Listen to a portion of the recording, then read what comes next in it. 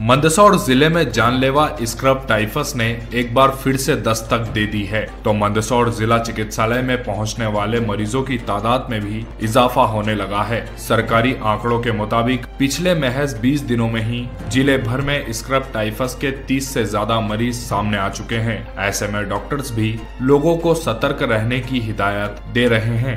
Scrub typhus बीमारी से आपको रूबरू करवाएँ तो यह बीमारी पिस्सुओं के काटने से होती है। पिस्सू चूहों पर सवार होकर लोगों के घरों में पहुँचते हैं और घरों के अंदर प्रवेश करते ही पिस्सू लोगों को अपना शिकार बनाने में जुट जाते हैं। जैसे ही पिस्सू इंसान को काटता है तो उसकी लार में मौजूद जीवाणु रक्त में फैलने लगता है, जिसकी वजह से दिमाग और फेफड़ों में कई तरह के संक्रमण पैदा होने लगते हैं। स्क्रब टाइफस मंदसौर ज़िले में तेज़ी से अपने पैर पसार रहा है। ताज़ा आंकड़ों के मुताबिक ज़िले भर में स्क्रब टाइफस के 31 पॉजिटिव मरीज़ सामने आ चुके हैं, जिनमें सबसे अधिक सीतामू क्षेत्र से 18 पॉजिटिव सामने आए हैं तो वहीं मल्हारगढ़ से तीन।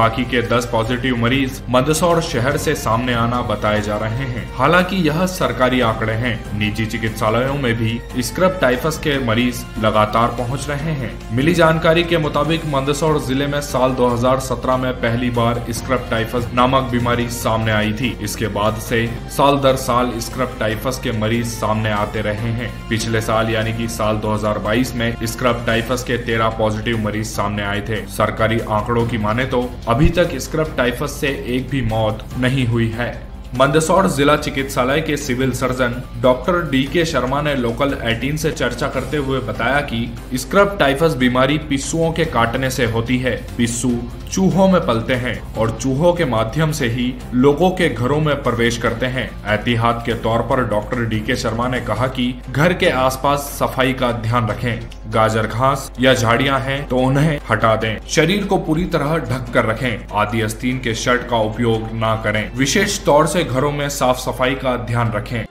देखिए स्क्रब टाइफस जो है एक प्रकार की बीमारी ऐसी है जो पिस्सुओं के काटने से होती है। है ना? जो पिस्सू रहते हैं और ये पिस्सू जो रहते हैं ये चूहों पर पल, पल, पलते हैं। बीमारी चूहों से इन माइट्स में जाती है और माइट्स जब पुरुषों को महिलाओं को काटता है तो ये बीमारी फिर पुरुषों में और महिलाओं में आती है। गाजर घास है, श्रब्स हैं, आसपास की झाड़ियाँ हैं, जंगली वनस्पतियाँ हैं सबको आप हटाएँ और वहाँ का वातावरण बिल्कुल परिसर शुद्ध रखें। नंबर एक। नंबर दो, पूरे कपड़े पहने। पूरे कपड़े से मतलब है कि आस्तीन वाले जो आते हैं, आपके जो शर्ट आते हैं, पूरी वहाँ के, अपने पूरे शरीर के अंगों को सबको ढक करके रखें, खास करके इस मौसम में। ये बहुत ज़रूरी है। पिस्सुओं को रोकने के लिए चूहे जो रहते हैं, वो इनका मेन रिजर्वायर तो चूहों से बचे चूहों का नाश करें और पूरे घर में साफ़ सफ़ाई का माहौल रखें। ये बहुत ज़रूरी है। लोकल 18 के लिए मंदसौर से शादाब चौधरी की रिपोर्ट।